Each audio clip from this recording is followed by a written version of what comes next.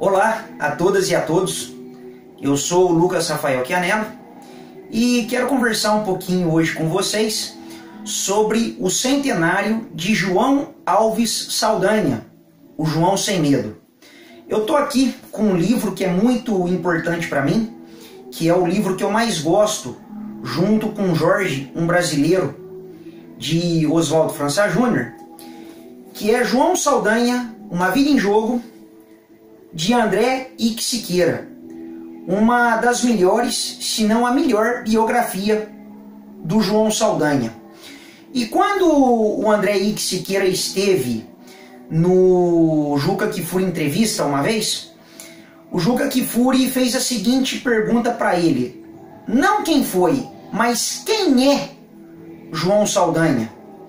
E o João Saldanha é o técnico que fez a base da seleção brasileira de 70, o técnico do Botafogo da maior goleada de finais em campeonato carioca de 6 a 2 em 1957 contra o Fluminense, com cinco gols do Paulinho Valentim, o militante do Partido Comunista Brasileiro que sempre defendeu o socialismo e lutou contra a ditadura militar, lutou pela reforma agrária nas terras de Porecatu, no Paraná.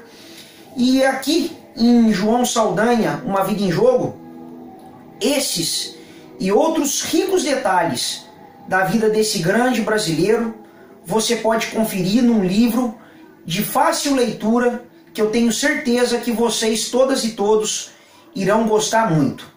Logo no começo do livro, nós temos duas ilustrações muito sugestivas. Aliás, três. A primeira, uma ficha policial do João Saldanha, que foi, que foi preso por diversas vezes em razão da sua luta política, mas estava longe, obviamente, de ser um criminoso. João Saldanha era um lutador do povo brasileiro Aqui, o João Saldanha em Moscou, uma vez que na época ainda vigorava, ainda existia a União das Repúblicas Socialistas Soviéticas, e aqui o João Saldanha num treino do Botafogo, o massagista Santana e, presumo eu, pela altura, o goleiro Amauri e o lateral direito Beto. E Conforme eu já tinha falado para vocês, esses e outros detalhes da vida do João Saldanha vocês podem ler nessa biografia muito prazerosa.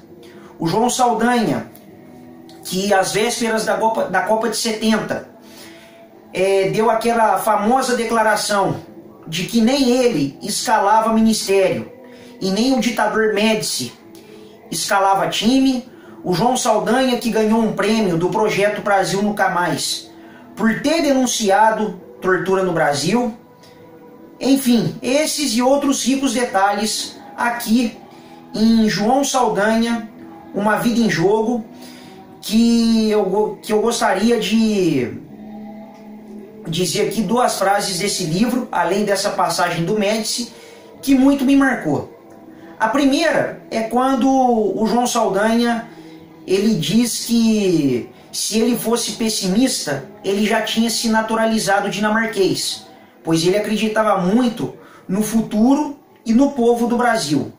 A outra eu vou procurar aqui, que é uma declaração dele em 89, um pouco depois do Botafogo ter sido campeão carioca depois de 21 anos sem títulos.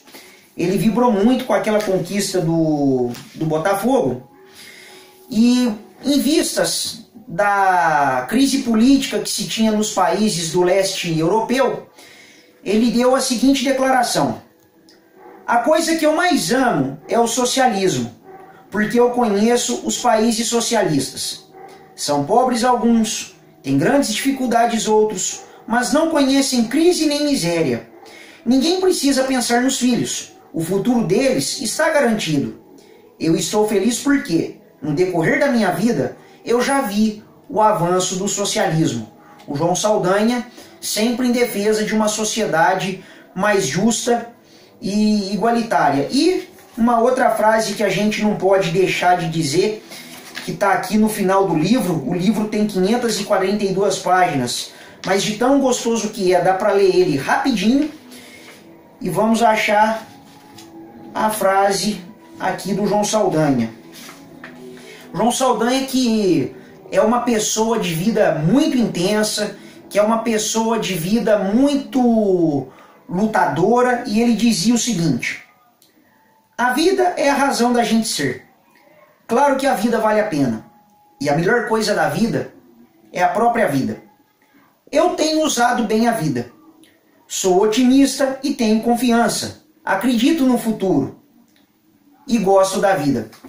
Esse era o João Saldanha, o pai, dentre vários irmãos, da Sônia, que no dia 22 de maio de 2008 fez a gentileza humanitária de ter autografado esse livro para mim.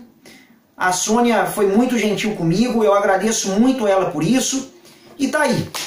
Creio que é um pouquinho do que eu poderia fazer para homenagear nesse centenário esse grande brasileiro que foi o João Saldanha.